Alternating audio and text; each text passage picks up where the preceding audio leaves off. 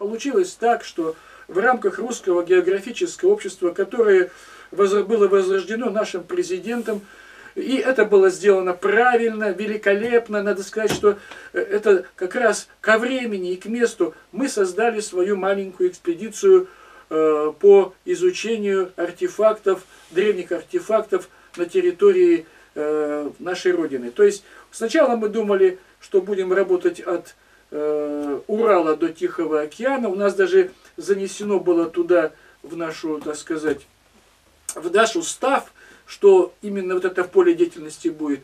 Но так получилось, что мы невольно расширили свои изыскания и даже провели работу в Германии. Э, получилось так, что сами того не подозревая, мы попали э, на, на, на территорию э, германской равнины и там занялись исследованием, потому что по-другому мы не, можем. У нас уже так построена наша психика, мы невольно начинаем присматриваться, смотреть, изучать окружающее все. И в Германии мы нашли поразительные вещи. Там э, в этой книге как раз вы увидите гибридных тварей трехпалых, статуэтки, кто их делал, непонятно, откуда они эти взялись, эти вот выкопанные из земли, э, эти вот странные э, скульптуры. Вот. Нашли э, руины какой-то древней цивилизации в Шварцвальде, там огромные мегалиты, вложенные прямо в осадочные породы. Значит, там когда-то тоже процветала древнейшая цивилизация. Мы собирали информацию в основном по русским городам, по русской Германии, потому что фактически половина, даже более половина э, немцев имеет Э, фамилии, которые происходят из славянских э, корней. То есть не, э, это, это действительно так. И огромное количество поселений в Германии вот, имеет название славянские, хотя на, на, на латине, на, написано на, лати, на, латин, на латинице, но вот так интересно.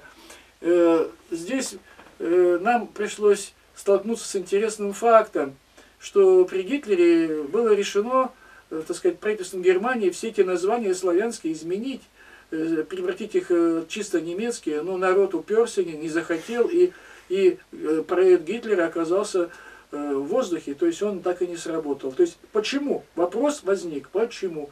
Оказывается, что э, генетика немцев и генетика славян и общая наша история, она совсем иная, нежели историю, та, которую нам говорят. Немцы фактически это это, это одна из ветвей нашего народа, а мы э, ветвь их народа, то есть мы фактически родные братья, и где-то э, нас удавалось стравить в братоубийственной войне, а где-то немцы оказывались на очень, э, так сказать, э, высоком духовном положении, где они от, отказывались от принятия каких-то своих э, там э, названий, Э, мест, городов, оставляя все как есть, именно наше русское, славянское. Все это мы вот в этой книге показали, кратко, правда, но э, пришлось это сделать, потому что э, такие вещи нельзя забывать. Кроме этого, мы сняли два фильма, три фильма даже, да, три фильма сняли. Посмотрите, там в интернете эти фильмы есть, так и называется «Русская Германия».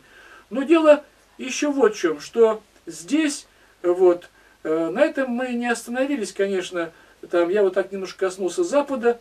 Мы проехали э, на Северный Кавказ, занимались изучением дольменов. О дольменах я не стал в этой книге писать, это отдельная тема. Вот. Но наша основная, наша основная задача была э, это изучение Сибири. И вот два года, два года, вот мы плотно занимаемся работой, экспедиционной работой на территории Среднего Приобья, а в этом году и на территории Хакасии. Вот о нашем, нашей работе на Среднем Приобье в этой книге подробно сказано. Я первую экспедицию нашу подробно описал, как она у нас проходила и что мы нашли. А вот теперь что же мы там нашли? Тут, понимаете, даже не знаю, что сказать. Вот знаменитый Миллер когда-то назвал Сибирь, назвал Сибирь не исторической территории. Ну какая же тут не историческая территория, когда а за, один день, вот первый же день, как мы попали в средний, вот на, туда, где э, значит, находятся, э, ну, будем так говорить, храмы, капища древние поселения, это вот река Тым, это э, река Ок, Парабель.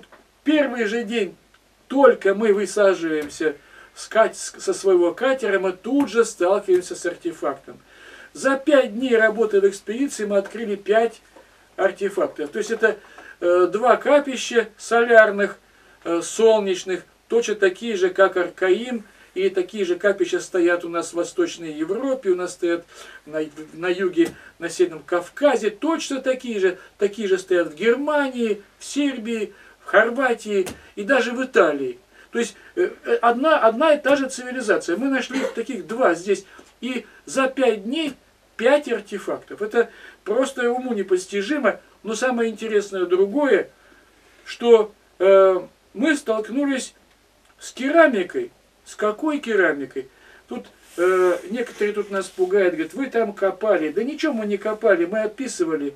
Мы описывали, носили на карту, мы не имеем права копать, с нами нет никаких э, археологов. Вот. Но эта керамика лежит под ногами, потому что здесь зона размыва, и весенние воды размывают песок, и идешь просто по керамике. Она вот торчит из, из песка на этих валах, на руинах древних этих э, городищ капищ. Так вот, керамика оказалась, керамика-то оказалась шумерской, с шумерскими орнаментами один к одному – когда нам ученые говорят, придуриваются, мы не знаем, кто такие шумеры, откуда они пришли, придумывают всякие сказки, всякие версии, что они чуть ли там э, не пришли с Атлантиды и все такое. Они пришли с севера, они пришли с северного приобья. Интересная деталь, что сейчас уже выясняется, что огромная территория здесь была занята этим народом. И, очевидно, этот народ, это не просто шумеры, это наши предки. То есть эм, славяне, германцы, кельты, балты, шумеры, это была одна, одна общность, это был один котел, и керамика была общая для всех, и все эти орнаменты шумерские, просто у шумеров там э, сохранились на берегах Персидского залива, вот куда они откочевали, часть нашего народа, собственно, ушла туда, на, Перси, э, на территорию Персидского залива, а все здесь сохранялось очень долго. Потом отсюда потихоньку рассосалось население на юг, ушло население в Восточную и Западную Европу, и вот эта керамика, э, о которой мы говорим, значит, с шумерскими орнаментами, она прослеживается на тысячи километров. Мы пока не знаем, на восток, куда она продвинулась, возможно, до Енисея, может быть, даже и за Енисеем. Просто не знаем, а нас там не было.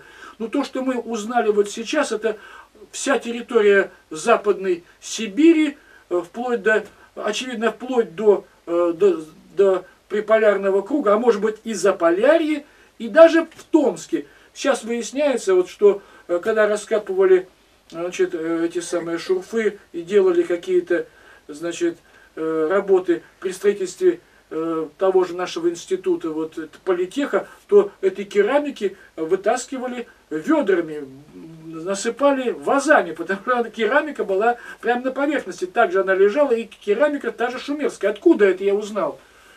А я узнал это из работы э, нашего этнографа, доктора наук Галины Ивановны Пелих.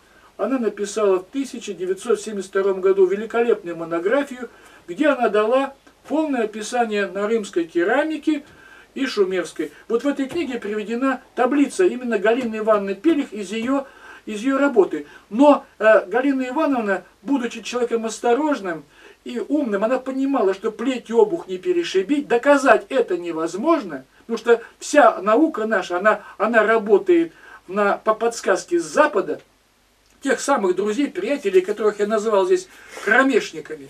Вот и управляется иллюминатами уже Вайстхаупта, которые тоже занимаются в основном э, э, нашей, нашим образовательным процессом, глобальным, кстати, процессом, не только э, в Европе, но и в Азии, и, и даже в Африке. Так вот, э, она промолчала, она написала э, свою монографию, и она была издана все в 300 экземплярах. Я эту монографию нашел, называется «Происхождение селькупов». Пусть люди читают, смотрят. Этот, эта монография есть в интернете. Пожалуйста, Там все сказано. Мы фактически пошли по стопам Галины Ивановны и не ошиблись. Она оказалась права. То есть мы доказали, э, что э, вот сами для себя пока доказали, что шумеры происходят отсюда, с севера, с Сибири, из Азии. Они никакие они не марсиане, никакие они не, не атланты. Это, это часть нашего народа. Причем интересно, если шумеры является частью нашего народа, а мы являемся частью их, то есть это, одна, это один и тот же плавильный этнический котел, из которого они ушли, а мы остались, то с нами вместе выходит что? То есть получается, что германцы, балты, славяне, мы все вместе, если рас, рассматривать древность шумеров, мы, мы самая древняя э, раса на земле. Древнее нас нет. Нам пытаются внушить, что якобы мудрые э, Семиты являются древней расой, а мы тут тевтонцы,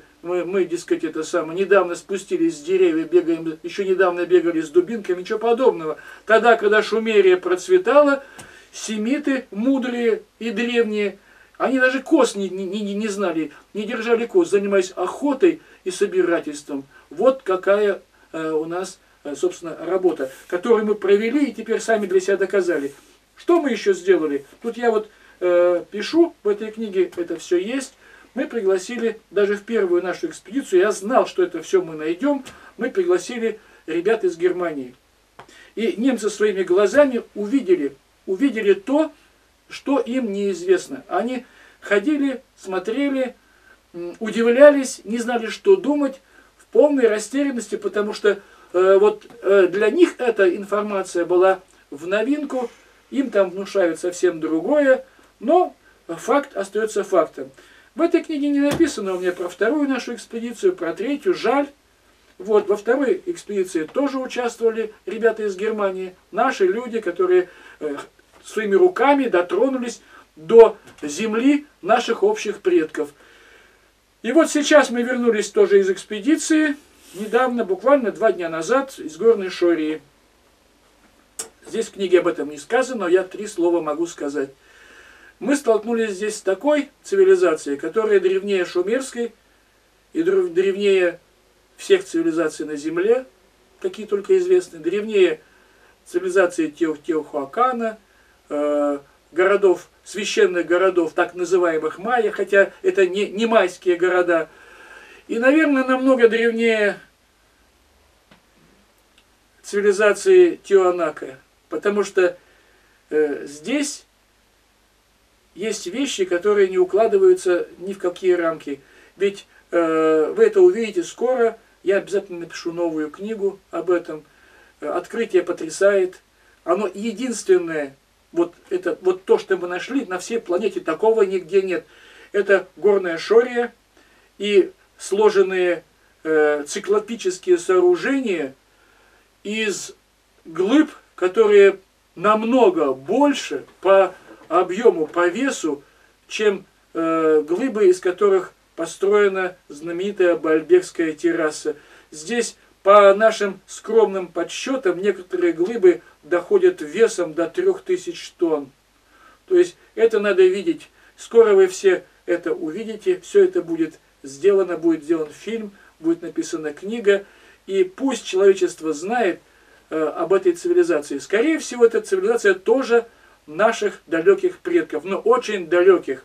Именно тех предков, которыми занимается великий Майкл Крема и Ричард Томпсон. То есть те ребята, которые написали неизвестную историю человечества. Вот если их сюда пригласить, я думаю, им тут э, работы непочатый край. Но, наверное, так и будет. А сейчас нам придется эту цивилизацию вплотную изучать, работать, и не один год, потому что то, что мы увидели, то, что мы открыли, э, превосходит все границы. Но жалко, что в этой книге я об этом не смог, естественно, написать. Я только начал, поэтому ждите новых книг. Там будет все подробно. Ждите фильмов. Спасибо за внимание.